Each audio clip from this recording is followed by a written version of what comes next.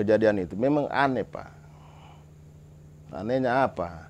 Itu barang itu ombak itu pak, kayak naga. Bukan goyang biasa sebenarnya, goyangannya. Ternyata gempa. Orang Batari ya, dia bilang ah, lumba. Nah, saya bilang, eh kenapa ada lumba-lumba ini gempa begini? Itu Labuan, Labuan tidak tidak, tidak bisa lagi kelihatan pak. Saya pulang, saya kembali ulang, saya seret anak-anak, panggil istri, tarik keluar, pakai horden. Saya lihat bukan lumba-lumba, cuma air, ombak yang tinggi. Situ saya sudah lari. Saya, saya panjat itu pagar, tidak tidak bisa. Begitu keempat kalinya, jalan saya terabe. Bayangkan tidak pakai celana dalam, uang di kantong cuma dua puluh ribu. Ada satu keluarga, satu orang tante, dia buka jalan, dia bilang, e, lewati saya, bawa lari anakmu, bawa lari istrimu, jangan tengok ke belakang. Adik saya mulai berpikir lagi, ah, saya balik, saya bilang, ah kalau begitu nih tante, bukan manusia, saya kalau begitu ini dengar bahasa begitu ini. Terpaksa saya balik, saya pegang tangannya, terus anakku yang pertama itu Naila, dia pegang tangannya ini, ini tante ini, dia bilang, ayo tante, ayo nenek, kita lari sama-sama. Saya keluar dari tebing itu, tidak lagi langsung, belum, belum lari. Saya kembali ke rumah ini, saya lihat, ih tidak lagi rumah ini. Saya dapat nenek niru. Nah, dia begini. Ya bagaimana sudah rumahku itu. Ya kan? Saya bilang, tidak usah om, rumahku juga tidak ada itu. Orang bilang, kamu kena musibah cuma ke kota Rena. Bagaimana? Mau sedih bagaimana? Mumpung sudah habis itu. Bayangkan Pak, tinggal tidak tidak pakai baju, cuma celana di badan. Alhamdulillah, panjang umur. Alhamdulillah masih hidup sekarang. Saat ini kami warga Talise sudah bangkit. Sudah bangkit dari semua keterpurukan. Kami siap untuk maju. Kami siap untuk sukses.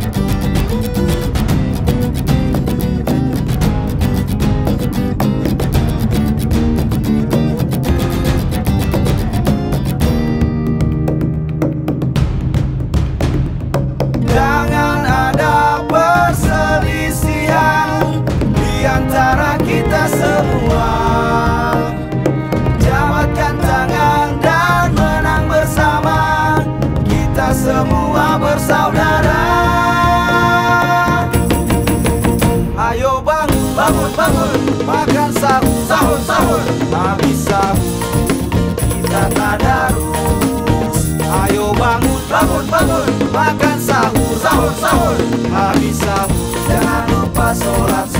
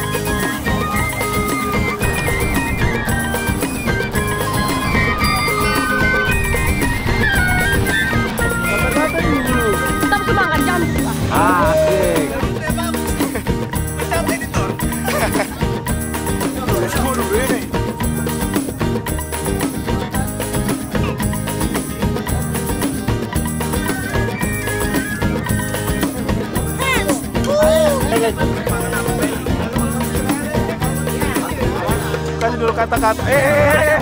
Jadi apa itu? Mantap. Hehehe. Eh. Iya. Hehehe. Kata-kata hari ini dulu.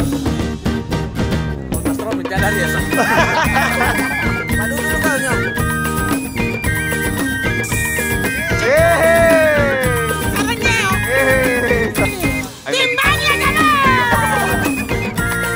Lagi. Kopi ketika Kopi. Ya. otak perlu inspirasi. Iya.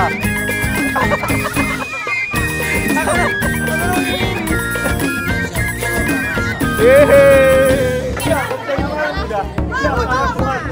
Baik melawan hujan, bertemu di tempat yang sama. Betul, lama.